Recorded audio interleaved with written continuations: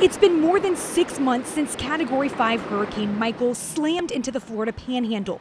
And Panama City Mayor Greg Brudnicki says most of the coast is still in shambles. We have a long way to go before we can, uh, well, we, before we be back to normal. But getting back to normal comes at a price. We've got a $90 million budget uh, we've already used, exhausted our reserves. We've borrowed $75 million. Brudnicki and Panama City officials are in Washington this week asking Congress and federal agencies for more money to cover the estimated $1 billion worth of damage in Panama City. It's time for them to pony up.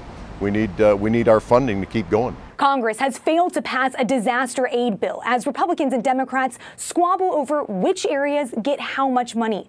Bill Husfelt is the Panama City area school superintendent. I think that it's sad that the people in California from the wildfires and the people in the Carolinas from the flooding are in the same group with us sitting there and waiting for Congress to do something that should have been done a long time ago. The House will try again next week with a $17 billion plan that would provide money for disasters ranging from Puerto Rico's 2017 Hurricane Maria to this spring's Midwest flooding. But Florida Republican Congressman Neal Dunn says just a small fraction of that is earmarked for Panama City, and it's not enough. It's just a down payment. It absolutely is not enough to get us all the way back. And Dunn says time is running out. Hurricane season starts June 1st. In Washington, I'm Anna Wiernicki.